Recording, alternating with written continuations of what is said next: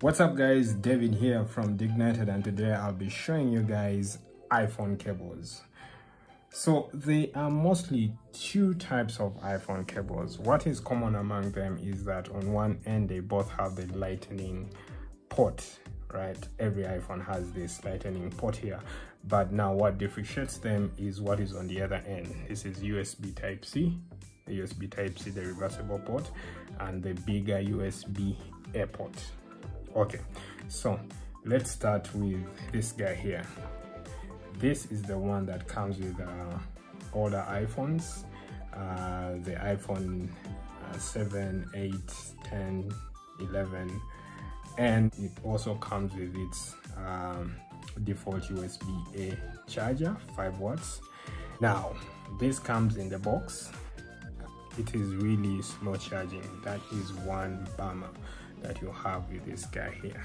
Now what this cable is it's a fast charging cable. It allows you to charge your iphone uh, with uh, a fast charger. Fast charger is typically one that comes with a USB-C port like this Aukey 30 watt USB-C port designed for iPhone 12, 12 mini, uh, 11 up to 8.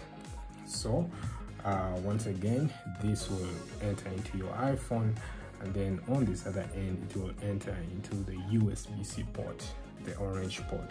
You can see here it has pd which is power delivery like this and then this gets into your iphone. You will be able to get up to 18 watts of power with this cable and a compatible charger as opposed to 5 watts when you use um, the default uh, charging brick. Yeah. Let me just put this back in like this. Cool. Yeah. So those are two types of cables here.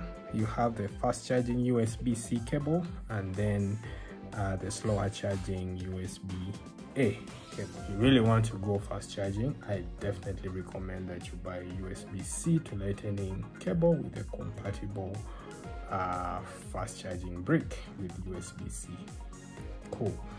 So thanks for uh, watching and see you guys in the next one.